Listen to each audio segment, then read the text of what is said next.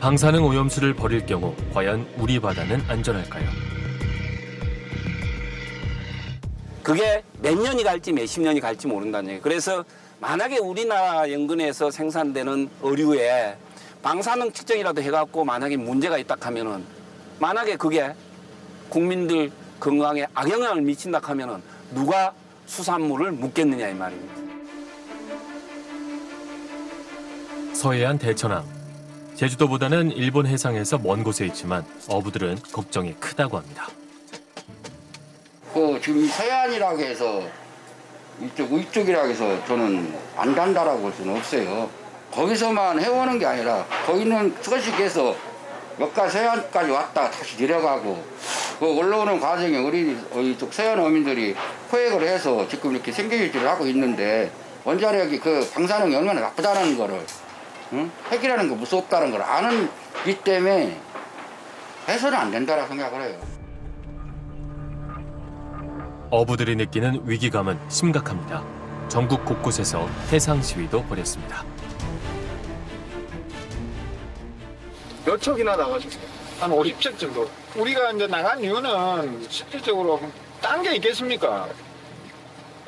제일 먼저는 우리 어업인들 생존권하고 지금 달려있는 문제거든요. 이거 일본에서 발표하자마자 벌써 우리 어민들은 먹고 사는 길부터 부닥치고 있거든요. 그러니까 가만히 있을 수가 있습니까? 문재인 대통령은 국제해양법 재판소 제소를 검토하라는 지시를 내렸습니다. 지금 정부의 입장은 일단 이번에 해양 방류로 결정한 거에 대해서는 단호하게 반대를 하는 겁니다. 왜냐하면 그 사이에 우리가 요구했던 정보 제공, 사전 협의 이런 절차가 전혀 이루어지지 않았고, 그래서 지금이라도 어, 일본 정부가 가지고 있는 아주 자세한 정보 이런 것들을 우리들한테 인접국 이해관계를 가진 인접국 그 다음에 최인접국에 어, 충분하게 그리고 투명하게 제공해 주는 그 요구를 하고 있는 거고요. 그 다음에 그쪽에서 만약에 해양 방류를 계속해서 절차를 진행을 한다면 반드시 이거는 검증이 필요하다. 그런데 정부가 과도하게 방사능 공포심을 부추긴다는 비판도 있습니다. 이게 제가 볼 때는 항의쇼다. 대통령께서 어 우리 후쿠시마 원전 음, 그 오염수 배출로 지금 여론이 별로 안 좋아지니까 대통령이 그냥 그 일본 대사 불러서 뭐 좀 질타를 하고 또 이렇게 하라고 이렇게 막 강한 모습을 보여주는 항의쇼를 한 거다 저는 그렇게 생각을 합니다. 안병길 의원은 원자력 안전위원회의 전문가 간담회 의견을 근거로 제시했습니다.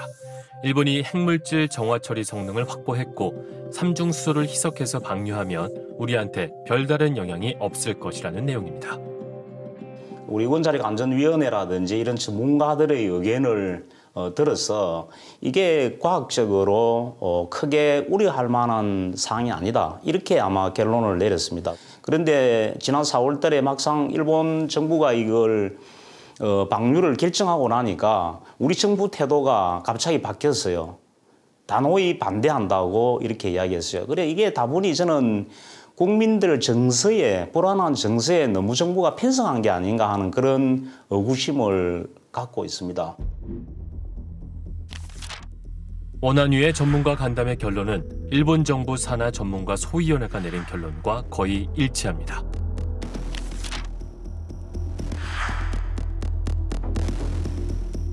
원안위는 전문가들의 의견일 뿐 공식 입장은 아니라고 해명했습니다.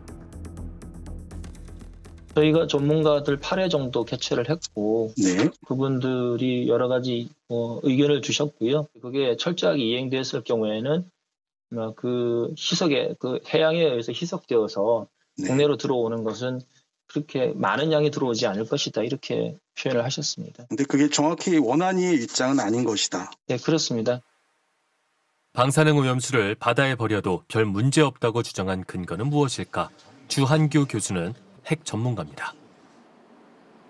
아, 이게 이게 자력이 배지라고 성은 원치고 이름이 자력인 원자력 배지고요. 이 탈원전에 저항하는 원자력 레지스탕스들이 달고 있는 바지예요. 멋있죠, 근데 파랗게 해가지고. 교수님, 그러니까 원전은 유지해야 한다는 입장. 그렇죠. 예. 주 교수는 과도한 불안감이 국민을 선동한다고 비판했습니다. 제가 저도 다 알거든요. 국민의 일반적인 감정이 어떤지 알고 나가서 얘기하면 소위 토착 왜곡으로 찍힐 수 있는데 그래도 제가 볼 때 좀 죄송한 말씀이지만 무지한 이게 무지한 게 이제 방사선에 대한 이해가 좀 예? 예, 충분하지 않아 그런 분들한테 선동을 하는 거예요. 주 교수는 도쿄전력이 운용하는 핵물질 제거 장비 알프스가 오염수의 핵물질을 기준치 이하로 제거할 수 있다고 주장했습니다. 소위 그 예, 근데 그거는 실험한 게 있어요. 이미 하- 해본 게 있고 자료에 보면 한 번 더 여과를 하면 세슘, 스트론트, 뭐 아이, 요오드 이렇게 이제 기준치보다 훨씬 높았던 것들이 기준치 밑으로 날아간다. 그래서 그 사람들이 한 번 더 여과를 한다 라는 거는 이제 전제 조건으로 걸어놓은 거예요. 주 교수가 근거로 제시한 문건입니다. 일본 정부가 제공한 도쿄 전력의 자체 실험 자료였습니다.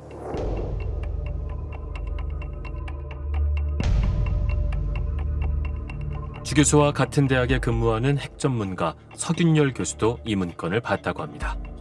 하지만 서 교수는 의견이 다릅니다. 일본 정부하고 도쿄 전력이 우리 학과에 찾아옵니다. 일본 대사관의 과학 참사관이 찾아옵니다. 저도 만났습니다. 거기에 보면은 깔끔하게 정리한 표가 많이 있어요. 그걸 보고 저는 아니야 이 숫자는 아직 믿을 수가 없어. 이거 전수 조사했을 수도 없고 내가 그 당시 사고 당시 벌써 10년 전에 그 도쿄 전력이 일본 정부가 은폐하고 축소했다는 건 아는데 나는 믿지 못해. 라는 게 제 입장이에요. 우리 두 눈으로 다시 재구성해서 숫자를 만들어내서 우리가 신념, 전문가로서 신념을 갖기 전까지는 국민께 괜찮다고 일본 자료 의견에서 말씀 전하는 것은 옳지 않다고 봅니다. 코야마 교수는 도쿄 전력의 실험 보고서만으로 오염수를 정화할 수 있다고 판단하기는 이르다고 지적합니다. 기술적인 약간です トリチウム投げにするのはただ運用上本当にそうなるかどうかっていうのはまだあのタンク2つ分だけ実験で昨年11月にやった結果しか今のところ出てないっていうことですね 후쿠시마 원전을 감시해온 그린피스 전문가도 오염수의 핵물질을 제거할 수 있다는 일본 측 주장에 의혹을 제기합니다. TEPCO committed to so-called secondary processing of that water. Uh, we have not seen, I at least have not seen any details from TEPCO, and also particularly how long that processing will take. Uh, we did calculations that if they were to process at the same rate as last September, October, for the 2,000 cubic meters, if they were to continue that same pattern, it would take about 12 years.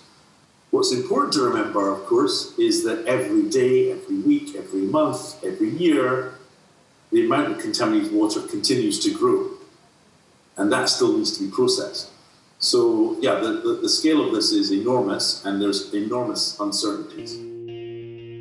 한국의 일부 핵 전문가는 방사능 오염수를 버리더라도 해류를 따라 돌며 희석되기 때문에 우리 바다에 별 영향을 주지 않는다고 주장합니다. 그럼 일본이 만들어내는 그 걸러서 필터링해서 만든 그 삼중수소는 그게 이제 나오면 1조 배 정도 희석이 돼요.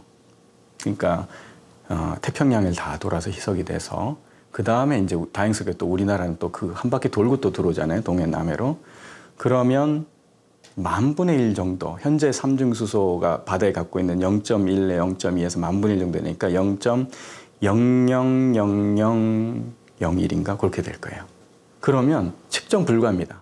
그러니까 바나나에 들어있다는 그러니까 칼륨 40이 어, 삼중수소에 의한 영향보다 340배나 큽니다. 그런 바나나에 비해서 340분의 1에 해당되는 그 영향밖에 미치지 않는다는 거죠. 그래서 그 그것도 너무 과도한 어, 불안이다.